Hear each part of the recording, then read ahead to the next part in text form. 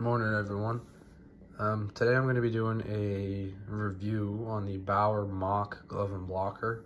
Um, this is a Pro Game Ready Palm, um, all white. I don't know, something about all white, just I'd rather it over colors. Anyway, so I'll start with the glove. Um, so a little bit of history. I started off with uh, Reebok 8K, I do believe. Um, went to a CCM 590, then to a Brian, uh, Vaughn V5, I think, um, and then to a Brian's Gnetik 4 Pro, I think, and then I just got this one because the Gnetik was all worn out. Um, so this is technically the same sort of break as the CCM 600, allegedly. I find it's a bit different. I don't can't really explain to you how I find it different, but I, I, I find it is different. Um, so right off the bat, the glove is pretty big. Um, I I can't open it very well right now, but uh, this is this is um, I got about probably eight or nine games on on both the glove and the blocker, um, so I think I can give a pretty good review on it. Actually, probably more on the glove because the blocker came in about a week after. So, um, nice big pocket, skate lace pocket. It is a floating tee kind of thing. I'll show you uh, when I open it up in the back there. Um, construction's really good. There's no uh, loose material or uh, anything sticking out that shouldn't be sticking out. Um, the foam's inside. There's the XRD foam just in here, I do believe, um, for rebound, dampening, uh, and protection. As far as the protection goes, this is a really, really good glove. I haven't had, the only stinger I had, what I think it was this one right here, and that was a slap shot, really good slap shot. Um, that one didn't hurt. I felt it, but that was the only one that really kind of, like I said, didn't hurt. It stung a little bit, but it wasn't that bad. The rest of them, uh, as you can see, I've caught quite a few in the palm, no problems whatsoever. Um, one thing I have noticed about this glove is if you get a puck anywhere in the cuff, it shoots out the rebound kind of far. It doesn't deaden the it doesn't deaden the rebound like I would kind of almost like it to. Um, it shoots it out. It's kind of like the board of the of the blocker. It shoots it out fairly hard uh, away from you. I have gotten I've have got one scored on me once because it shot it out and it just happened to be a, a forward standing right there and he put it in the net. So you know that kind of sucks, but it is what it is. So, um, closure right out of the box, it was really, really good. Obviously, it's, you know, still has to be broken in a little bit, but the closure was very, very good. Uh, big fan of that. It was the best closing glove I think I've ever had out of the box. Backhand protection. This is a big thing for me because of my RVH. I'm not very, I really don't I don't have the best glove position when I'm hugging posts and stuff like that. Um, as you can see, I took one off here, here, here, and here.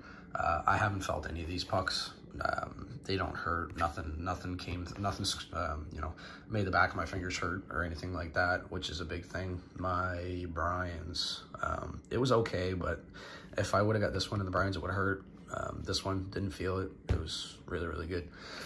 So one thing that I don't like about this club that I actually had fixed was when you open this up, this strap, this strap right here does not come with the glove. I actually got this put in my uh, by uh, my local hockey shop because I'm used to having a strap over your fingers, strap over your knuckles or your back of your hand, and then a strap over your wrist. This glove does not come with a strap three straps. It only comes with two. So let's just pretend, this is not very easy to do with one hand. Let's just pretend that this strap is not there. It's gone. And it's black in here because I wear a, um, a glove inside. It's a black glove. Um, it's a golf glove, but it's like an all-weather golf glove, and I'll explain why I wear that here in a minute. Anyway, so you have your strap that goes over your finger stalls in there. This strap, originally it comes, there's two um, loops here that you can use. There's one that goes over the back of your hand. This one, it would cross over towards your wrist, but it wasn't comfortable for me. Um, so I got this strap put in and I actually crisscrossed them. So I put this one to the back and then this one, which is tied into the thumb stall. That's where I got it tied into. I put it over here. I wear my glove. It's nice and tight. I like a I like a glove to be really really tight to my hand. Um, I don't like a loose glove. So this one, it, it, it does fit a little bit looser, I find, especially when it starts to get wet and sweaty. It slides around quite a bit. This material in here, it's nice and plush. It's nice and comfortable, but once it starts to get you know, sweaty and everything like that, I find my hand slipped around quite a bit. Um, and there was actually a shot. It was a fairly hard shot that came in, and I caught it, and the glove almost popped off my hand because it was so loose. And I had it as tight as it'll go, but that's actually another reason for the glove. My it's a FootJoy all weather golf glove that I happen to have in my golf bag, and I figured I'd try it. Once it starts to get wet and the glove gets wet, that really grips very well um, and my hand doesn't slip around anymore. Plus with this extra strap really tightening it down, I don't have any issues anymore with that. Um, so that's that's one thing that I've had to do. So if you prefer a glove that is really, really tight to your hand, that you don't want it to move or anything like that, you know, this is a good glove, don't get me wrong, but maybe look uh, look for something else, maybe a Brian's or something like that. Or if you do end up getting this one, maybe you consider putting an extra strap and maybe wearing a glove underneath to make it work. My hand is, um, I, don't, I, don't, guess it's an average hand, like any other mechanic glove or a nitrate glove. Um, I wear a large, so, you know, average hands, I guess. Um, that's just my personal preference.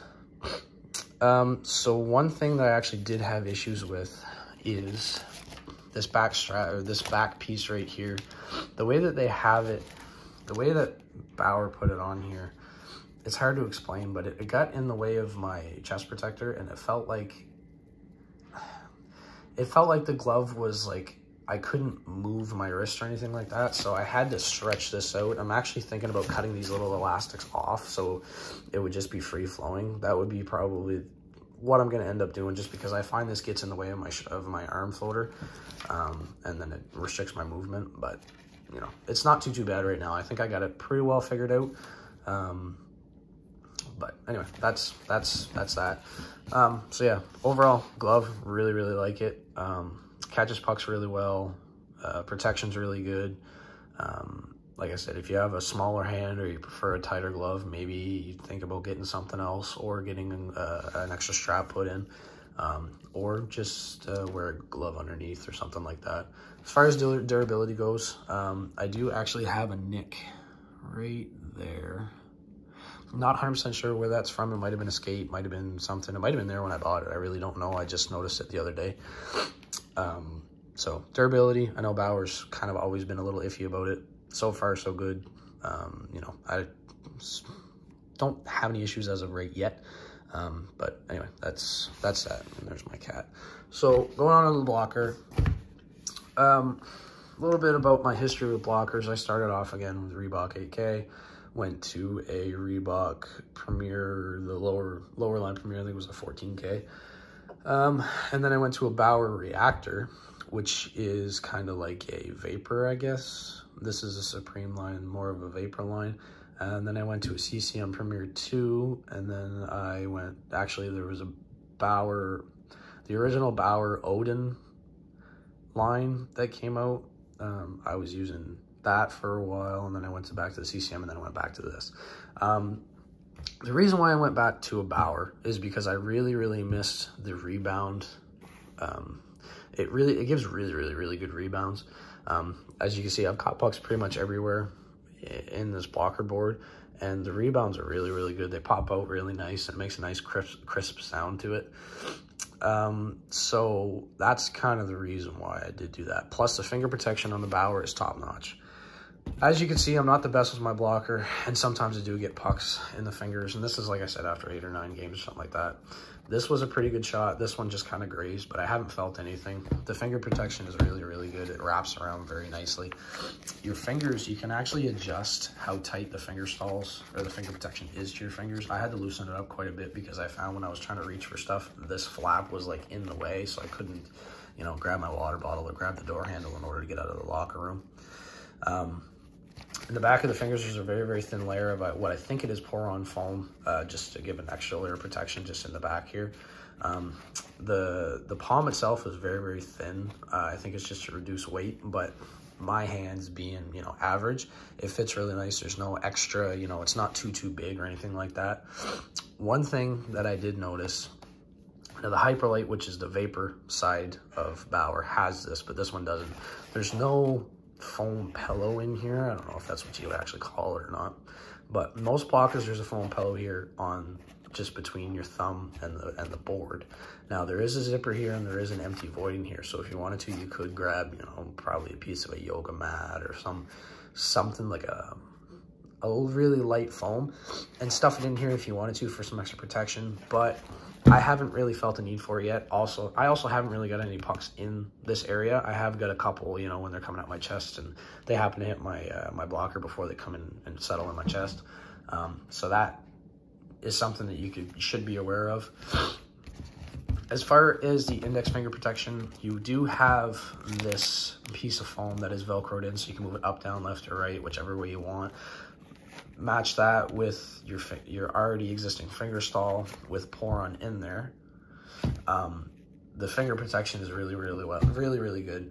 Um, I do use a, uh, I think it's called a goalie wedge. It's on my stick only because I injured my index finger uh, at work and it's kind of sensitive. So any sort of vibration or anything like that, it really does hurt. Um, so I do have some extra protection here, but that's another reason why I bought this blocker is because my CCM was lacking in finger protection.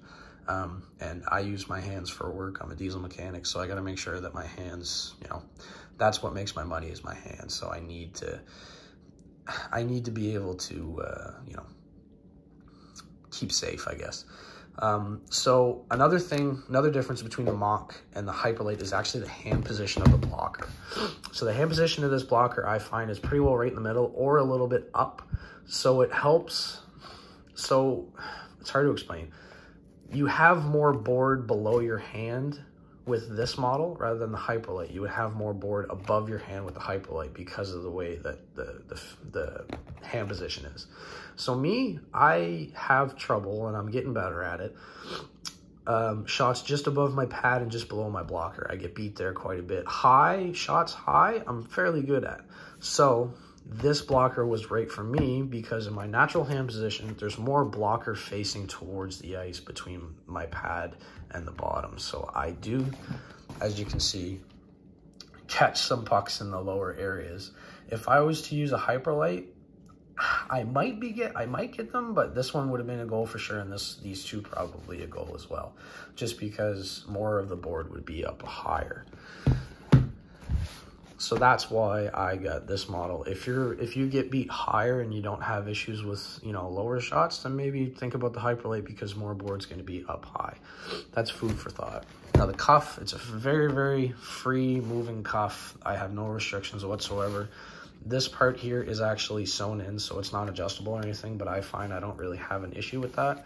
Um, I wear my blocker really loose on my arm because this is what I, you know, I, I take my hand out to take a drink of water or, you know, uh, wipe sweat from my eyes or anything like that. So this, this I stay loose. The only thing that I really don't like about this blocker is this little leather tab that I'm assuming is there to kind of help you pull, pull it on. This I find gets folded underneath as you're playing and it's, you don't notice it, but it's just kind of annoying, I guess. Um, so same thing, the, the glove, the blocker, the quality of it, um, very, very good. There's no loose material. Sometimes on the blocker board itself, you have a, a, lot of loose material here. There's a lot of space in between the actual board and the skin itself. This one, it's nice and nice and flat. There's no extra, you know, extra material. There's no ripples or wrinkles or anything like that. Everything's nice and tight. Um, the, the palm, everything's tight. There's a couple of uh, frays here, but I mean, that's to be expected. You can't be absolutely perfect. Um, you know, it's it's a really good blocker. It's probably my favorite that I've ever used, and I've had probably five or six blockers uh, in my hockey career so far. Um, and it's probably one of the best. As far as the glove goes, I think the best, honestly, is probably going to be my uh, my Brian's Gnetik. That was my favorite, um, just with the BOA system and everything. Um, I still have to get used to this. This still is a vacuum, and I can catch pucks with it really well, but because the closure is a little different, and this is just a bigger glove in general. Like, presentation, it's a bit bigger. So, you know, and the pocket location is a little bit different compared to the genetics. So I'm still trying to get used to it. Um, but like I said, I need my hands for work. I needed the protection. And this is the most comfortable glove that I could find when I was in the market for a glove probably about a month ago. and the most protection I can get. So that's that. Um, yeah, I don't think I'm missing anything. If you guys have any questions, comments, concerns, just, you know, put them on the comment section. I will certainly try to answer them. Um, I actually did just get a set of true TF7 goalie skates that I actually wore last night. And I took them back to, this, to the sports store to get them profiled because they were flat as a board and I couldn't move. Um, so I will be doing a review on those probably here within a month or so once I get some games in and once I, you know, get comfortable with them and stuff like that. Um, and uh, yeah, hopefully I will be getting some new pads here eventually. Hopefully I'll be getting the Bauer M5 Pros. Um, I don't quite have the $2,000 for the Mach set, but the M5 Pros are going to be the next best thing. Um, and I'll do a review, a review on those as well, probably towards the end of the hockey season or next season, maybe September of 2023. I'll get those depending on, uh, you know, what happens. And uh, yeah, we'll just see what happens, I guess. Anyway, if you have any questions, comments, concerns, let me know. I'll uh, be sure to answer them. And uh, you guys all have a good day.